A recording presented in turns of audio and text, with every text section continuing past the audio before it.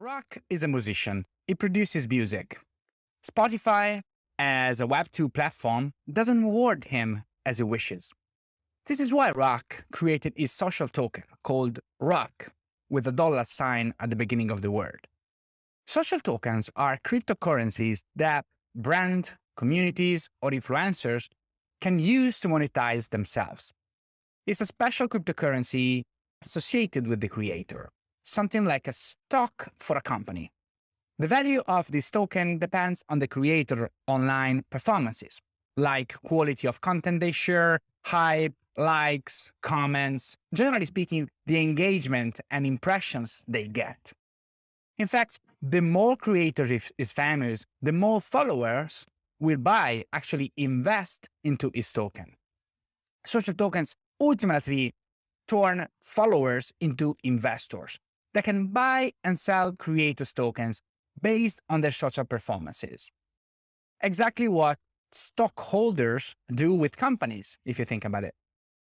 But how does Rock actually make money with social tokens? He gets a percentage every time their fans buy his token.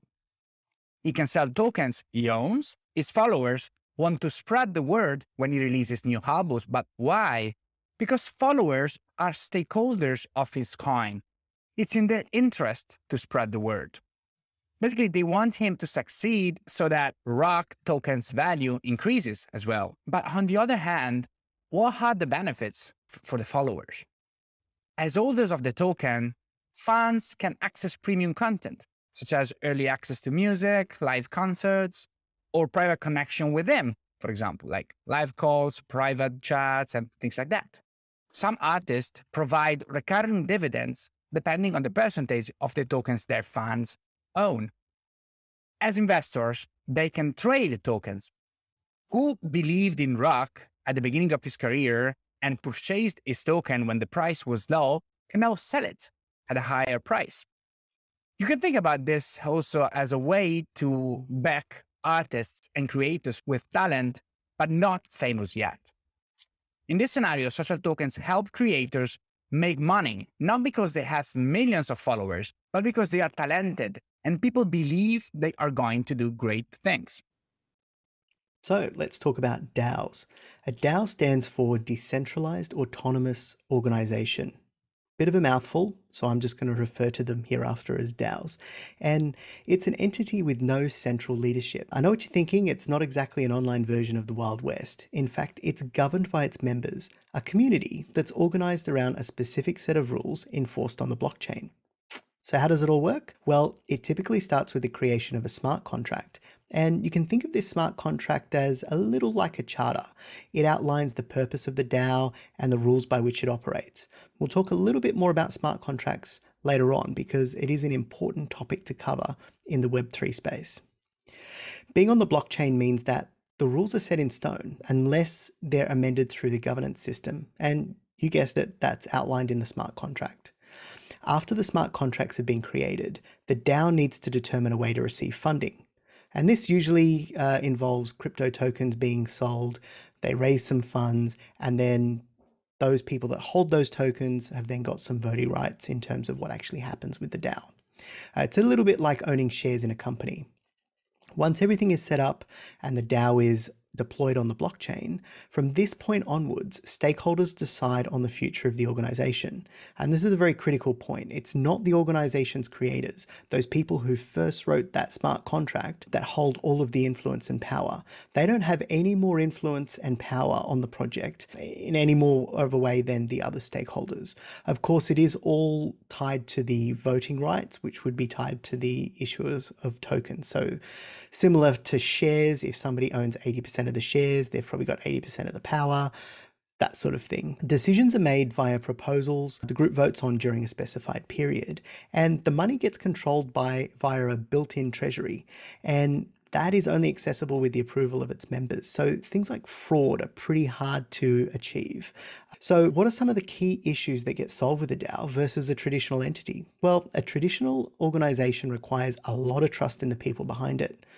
And this is especially uh, true on behalf of investors. They're removed from the day to day running of the organization. So they need to have a lot of trust in the people that are running it. With a DAO, you only really need to trust the code itself, you know, the code that sits on the smart contract. Because every action that a DAO takes after being launched has to be approved by the community and it's completely transparent and verifiable. A lack of hierarchy means any stakeholder can put forward an innovative idea and the entire group will consider it, improve upon it, vote it in, reject it. And internal disputes are often easily solved through a voting system. And this is in line with pre-written rules in the smart contract. So it's a critical thing that if you are going to set up a DAO, that you pay a lot of attention to the smart contract because that will either set you up for success or failure down the line. Members of a DAO have their interests aligned to the DAO, as the nature of the DAO incentivizes them not to be malicious, but rather turn into advocates of the organization. And for me, this is one of the critical benefits of a DAO. Let's look at the example of a community. If it's governed by a DAO, the members of the community would be incentivized to be active. They would be incentivized to promote the community to new members and to help. So not only do they get the benefits of this thriving community that they're a part of, but they're also rewarded since they'll have a financial stake. So the success of the community becomes their success and they're rewarded with things like the token that they purchased growing in value over time. Now, I know what you're thinking. This sounds brilliant. It's all brilliant in practice, but do members want to vote on every single issue? Do we want this sort of very pure democracy here? Well, look, probably not. Once an organization grows to a decent size, there's just too many decisions that need to be made, and voting on every single decision would become this massive bottleneck. So, what a DAO can do is delegate authority in a similar way to shareholders delegating authority to a board or CEO in a traditional organization. Although there is one key difference, and that's that you've got the full transparency of the decisions that are made and all of those checks and balances in place uh, because everything is sitting on the blockchain. So you're able to follow the money and not just rely on this carefully crafted report, as we often see uh, with traditional organizations. There are some uh, hurdles to widespread adoption, though. DAOs can be distributed across multiple countries and jurisdictions. They're kind of, you know, they're internet native. They don't fall within any particular kind of geography. So there's no legal framework for them. And legal issues that may arise will be probably pretty complicated to solve. There are countries that are starting to look into how they can support the adoption of DAOs as a new governance system, because as we've just seen, there's a number of upsides. But I expect that this would take some time to become commonplace. One of the massive issues that we see with DAOs, though, is that third party transactions outside of the Web3 space are pretty difficult to achieve because there's no legal entity to enter into contracts, like hiring staff in a traditional way or opening a bank account. So you would need to employ an agent to act on your behalf. And then that kind of erodes some of the value proposition as you start to reintroduce all these activities that happen off the blockchain. And then you've got points of failure like transparency, fraud, and so forth. In the US, it's a, it's a completely different story. So the SEC issued a report in 2017 determining that DAOs that have sold security in the form of tokens, kind of how it works, violated portions of the securities laws. So you just need to be very careful if you're in the US or a citizen of the US. But I do encourage you, if you are looking to start a DAO, to check how that may all sit in your country. DAOs do have the potential to change the way corporate governance works completely. There's a massive future for them. But I think, look, it's going to take some time for the concept to mature and this legal gray area where they operate today to be cleared more and more organizations will probably adopt the DAO model to help govern some of their activities as time goes on and expand this over time versus just going headfirst into the deep end from day one. So, NFTs, you've probably got some questions about this emerging um, art platform, right? Look, you've no doubt seen headlines about people paying house money for a clip art of a rock or doodles that you'd be proud of your four year old for creating. And you're probably thinking, what the hell is going on? This makes absolutely no sense. Well, there's more to it than that. But first, let's go through and understand exactly what an NFT is. So, an NFT is a non fungible token, which probably still makes no sense to you. But the easiest way to explain it is if you imagine an NFT being a one of a kind trading card, it's unique. And if you were to trade it for another trading card, you'd get something different in return. Whereas Bitcoin, for example, is fungible. If you have one Bitcoin and I have one Bitcoin and we swap our Bitcoins, we still both have the exact same thing that we started with. NFTs sit on the blockchain, which most likely today would be on the Ethereum blockchain, but that's changing and we're seeing NFTs pop up on other blockchains too in an, in an effort to reduce transaction costs. And we'll get into that a little bit later on.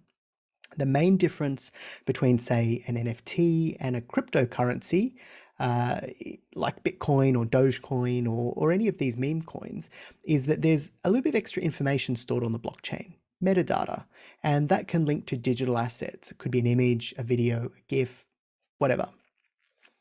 So Christie's, the famous auction house, auctioned off a 10 second video by Beeple and it sold for $6.6 million. Yes, I just had to check I was reading that right. That's 6.6 million US dollars. And here it is. The awkward thing is that you can download the exact same file that the owner received. It's mind blowing. But NFTs are designed to give you something that can't be copied, and that's ownership of the work. Okay, so the artist can still retain copyright and reproduction rights just like they would with a physical artwork. But let's put this in terms of physical art collecting. Anyone can buy a Monet print, but only one person can flex that they own the original. So, is there any more to it than that? Well, look, it can be argued that one of the earliest NFT projects, CryptoPunks, they've also got a bit of a community around them. There's various other animal theme projects like Bored Ape Yacht Club. They've also got a bit of a community around them as well. The activities of these communities do vary from one to the next. But if we take Bored Ape owners, for example, it seems to involve vibing and sharing memes on Discord, complimenting each other on their Twitter avatars, that sort of thing. So you might be thinking, what's the point to all of this? Look, I think it really depends on whether you're an artist or a buyer. Let's say you're an artist. You might be interested in NFTs because it gives you a novel way to sell work that there otherwise wouldn't be much of a market for. You may come up with a really cool digital sticker idea, but how are you going to sell it? You could sell it on the iMessage App Store, but you might struggle to get much in return. So people are doing these sorts of things and and doing very well out of it today. But I think it's worth noting that a lot of this success may be short lived. If you're an unknown artist and you're putting these sorts of things in NFT marketplaces, you might be able to make some cash today, but you may not survive the hype when marketplaces become oversaturated. And it's coming. One of the key features for artists, though, is that you can enable a royalty. So you get a percentage every time your NFT is sold. And this makes sure that if your work gets super popular and the value skyrockets, you'll see some of that benefit as well. And this is unlike traditional art where you, know, you could be an unknown artist and sell a painting for $100 today and then become widely successful in the decades to come for that artwork to later sell for a million dollars. But you, the artist, would still have only made $100. In this case, every time it trades hands, it's built into this NFT that you're going to get whatever royalty you set 5%, 10%, 80%. Typically, royalties for art seems to be somewhere between 5 and 10%. So every NFT is unique, right? Well, technically, yes, every NFT is unique. There's a unique token on the blockchain, but it's also possible for collections to be released. So you could release 50 or 100 of numbered copies of the exact same artwork or derivatives of the same artwork. And this is what we're seeing quite a lot of. You know, the number of copies, though, is transparent, and then that, of course, influences the value.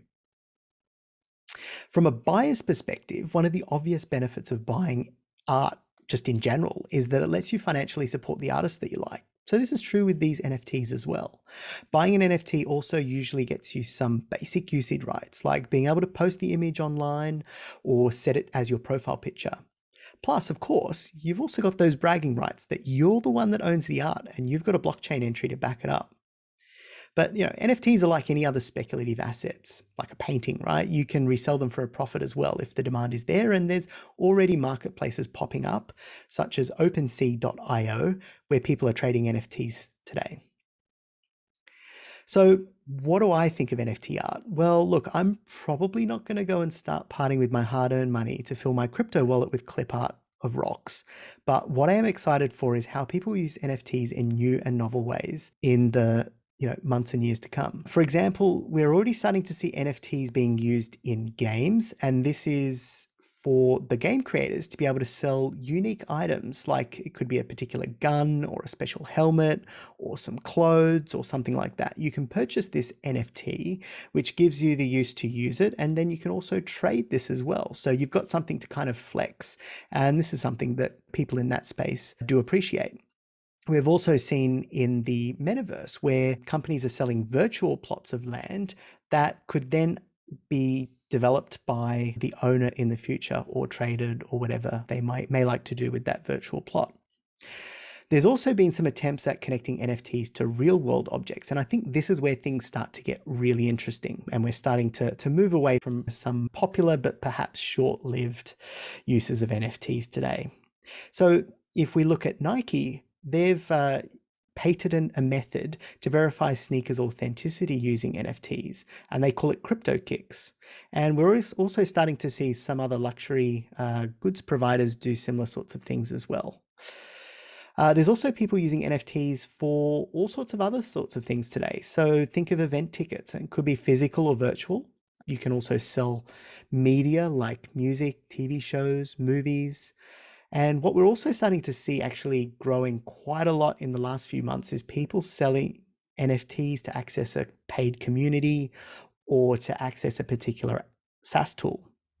The opportunities really are endless, and I genuinely think that we'll start to see some really cool uses of NFTs in the near future. And it's definitely not going to be constrained just to $1 million cat doodles. Okay, so I told you I was going to talk about smart contracts. So bear with me for a moment as we get a little bit more technical.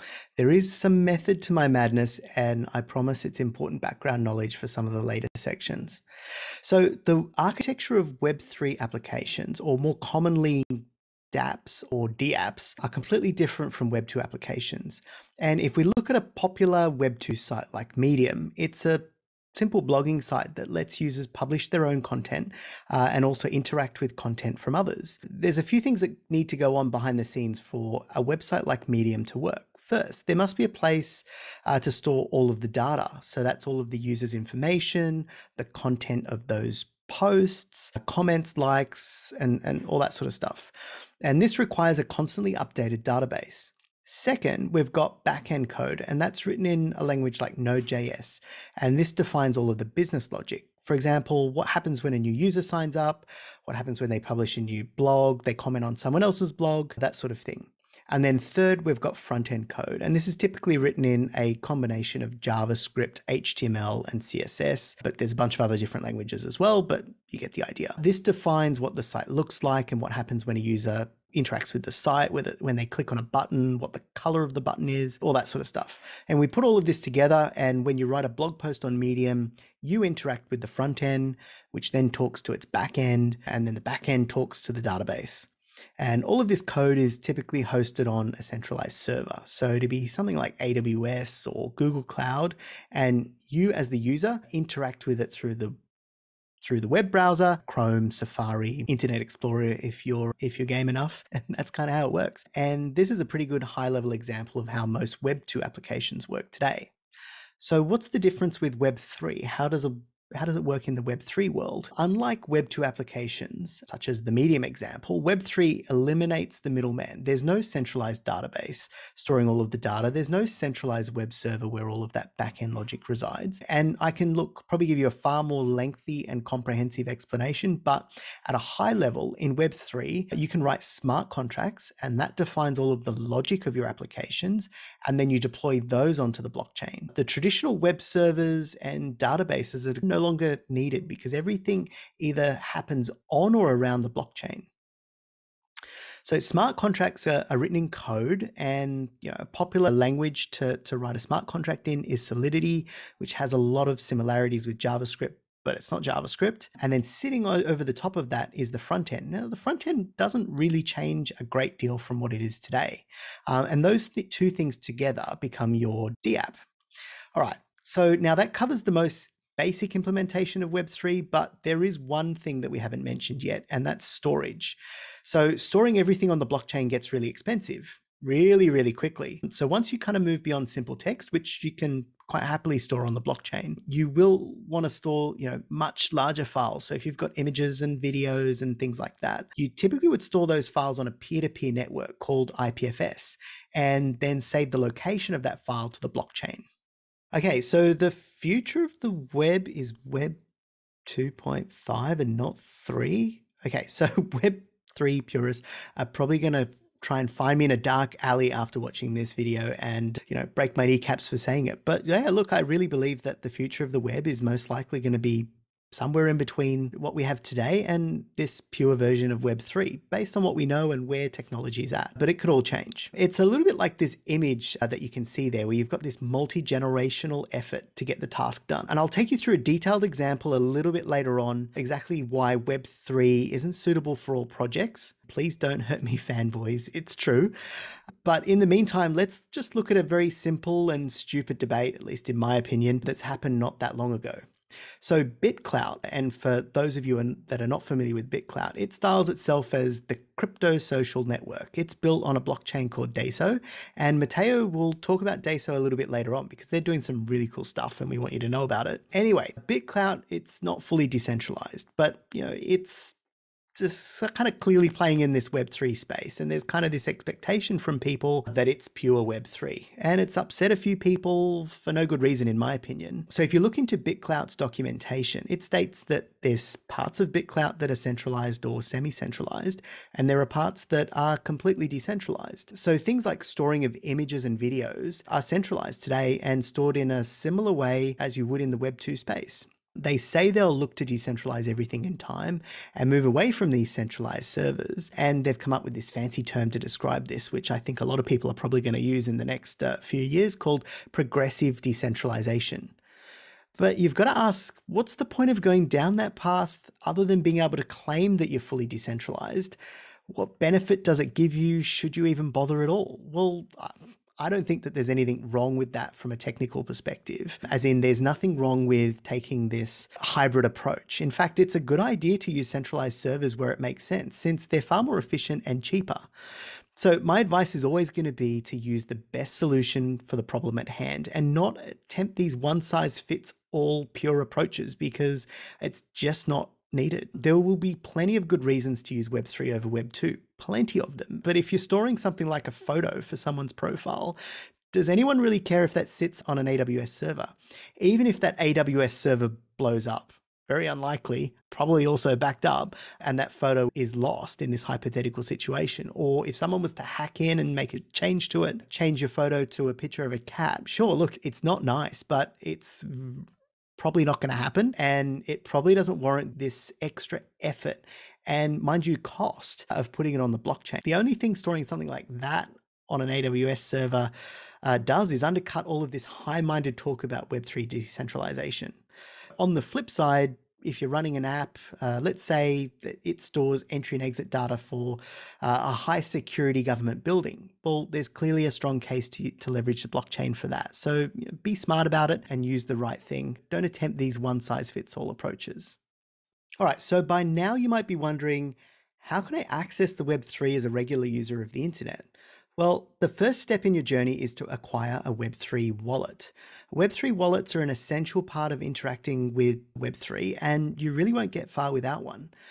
Web3 wallets are digital wallets, so they have the ability to store and interact with digital assets.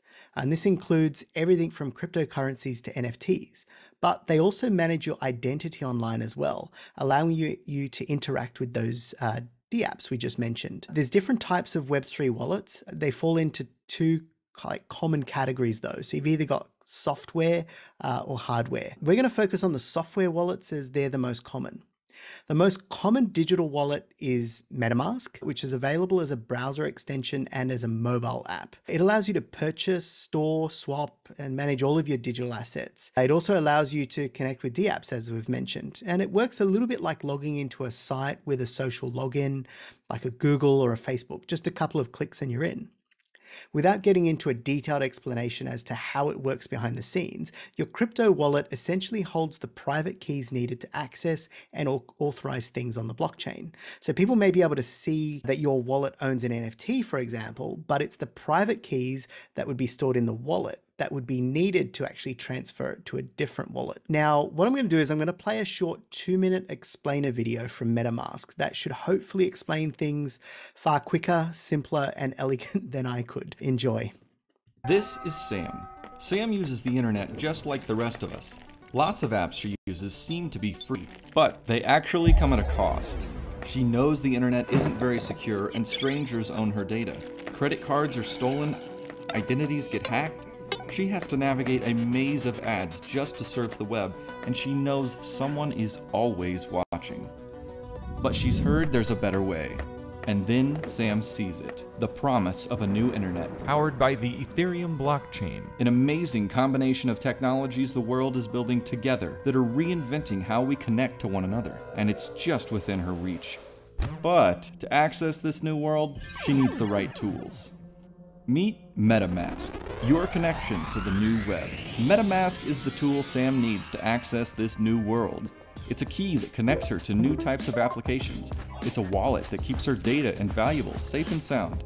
And it's a shield that protects her from hackers and data collectors. With MetaMask, Sam is ready to explore this new internet safely and securely. The possibilities are endless. Sam can use next generation applications that give control back to the users and the community, own her data, and move seamlessly between sites, and send money across the world at a fraction of the cost. Create new organizations with new currencies that bind her communities together. Crowdsource projects and art, or invest in other people's creations. Sound too good to be true? Well, with great freedom comes great responsibility. Sam controls her own identity on this new internet. No more new passwords for every site she visits. Just a secret phrase that controls her accounts. This phrase is her login, her password, and her proof of ownership all wrapped up in one. So Sam has to keep it as safe as she possibly can. Now that she's installed MetaMask, Sam's ready to explore the best version of the internet. Vote, crowdfund, buy stuff, publish writing, make art, hire freelancers. What will Sam do first? Whatever she wants. The internet is hers to explore. Welcome to a new kind of internet. Welcome to MetaMask. Despite the large sums of money made by people who own Bitcoin or Ethereum, I've always viewed the Web3 movement as anti capitalist. That couldn't be further from the truth. The movement is really about doing one of the most capitalist things ever made. I'm talking about cutting out the middleman. Basically, in Web3, we're talking about a more direct connection between suppliers and consumers. And in this relationship, fans, followers, become investors and stakeholders so that creators can actually monetize their social capital and currency. Thanks to NFTs, we can now prove that we have created and own a specific digital asset, unprecedented on the internet. NFTs created supply scarcity and triggered new digital economy dynamics, though the present and the future is 2.5. Web3 doesn't mean Web2 goes away, just like Web2 didn't mean Web1 went away. Finally, if you remember, we said that Web1 was read only because people could only read the content. Then Web2, we said, is read and write because users generate and consume content on social networks. But how about Web3? Well, Web3 is read, write, and home, as you can see in this table here because user can easily create, consume, and own content online. The core ethos of Web3 is disintermediation, taking away the middleman by enabling through peer-to-peer social and transactional relationships. The way most value is being created on the web is through communities of people coming together, collaborating, being part of something. With native ownership and payment layers built in, Web3 has the potential to fundamentally rewire the core social and economic structure and deliver on people's and consumers' deep desire to be part of a creator, brand, or passion community in refreshing new ways. Web3 is forging stronger and more direct connections between creators and fans, turning passive audiences into active members and stakeholders. Creators are looking to engage their fan base in more meaningful and value enhancing ways, involving them in a co creating process and sharing the upsides with them. Web3 is allowing a different kind of patronage, with funds turned into equity stakeholders in the combined cultural value and upside.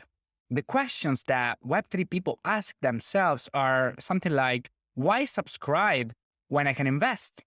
Why just participate if I can partake in the value being created? Why just play when I can have a say as well? In Web3 communities, crypto tokens can be used to reward status or contributions, and specific utility and privileges can be attached to these tokens to provide additional benefits to token holders. As with equity shares, this could also be linked to certain voting rights or governance permissions. And the attached utility isn't just restricted to the digital world, but can provide access to other benefits in the physical world as well. Community utility tokens combine access to online to offline product and experiences with financial and tradable value. Tokenized community would bridge existing creator economies to become true ownership economies, with members, consumers, and fans enjoying a direct connection to the creators they love while having a stake in the collective value upside.